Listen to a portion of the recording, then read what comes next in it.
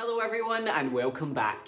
It's Monday and we are starting a brand new story together that's aimed at our younger readers.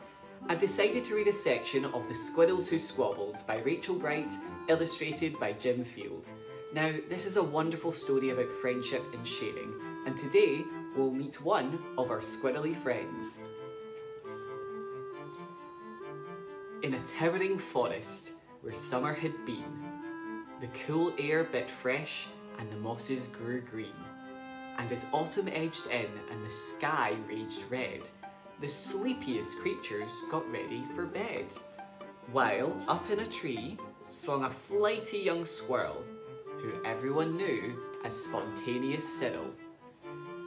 Now, most foresty folk had seen to their needs through the plentiful months of mushrooms and seeds. They built up their stores so they'd all be well fed through the frosting of winter that glittered ahead.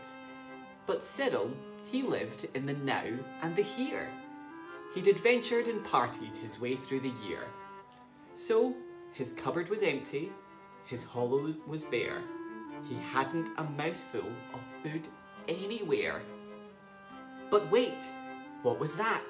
Over there, take a look a single lone pine cone wedged in a nook. He squealed with delight, and for very good reason, for inside were the very last nuts of the season. Wow. So that's one squirrel friend called Cyril who is running a bit low on food. Now, his favourite food seems to be nuts, I would love to know what yours is. Let me know in the comments below. And I'll see you next week where we meet our second squirrely friend. Take care and enjoy the rest of your day. Bye!